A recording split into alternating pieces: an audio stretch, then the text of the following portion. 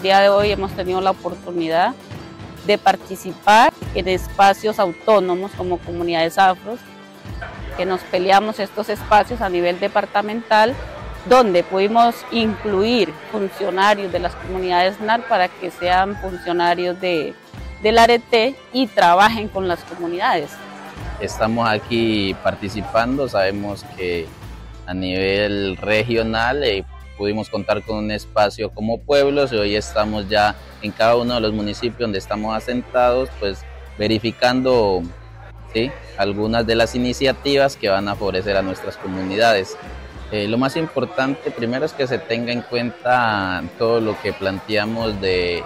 eh, quizás el enfoque diferencial, nuestra particularidad como pueblos, como indígenas, pero también que se respete ese principio de unidad, de colectividad. Putumayo tal vez es uno de los departamentos, y sobre todo en términos subregión, eh, que tiene esta distinción porque se trabaja de manera fuerte el componente étnico y la incorporación del enfoque étnico que nos hablaba el acuerdo de paz. La que me ha marcado a mí es la grande dotación que se hizo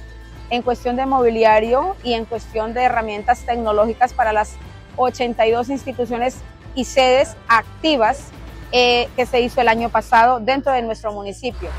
El liderazgo social aquí se siente, lo hace, los, realmente los hace erizar y eso se ve reflejado en escenarios de construcción colectiva como este de la actualización de los PATR.